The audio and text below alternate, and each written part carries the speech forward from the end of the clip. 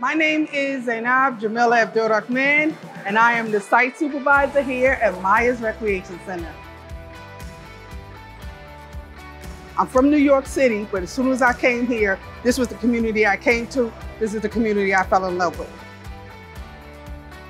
And it has a history.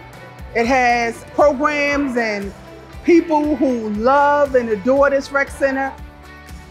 I started out peeking from the side of my father as he participated in the advisory council, watching a group of people come together and make plans for a rec center and help out the rec leader who was here and really put together some awesome programs.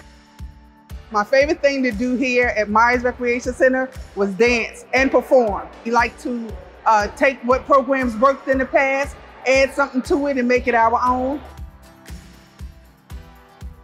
It, it just makes you feel fulfilled. It makes you feel like this is the place you want to be.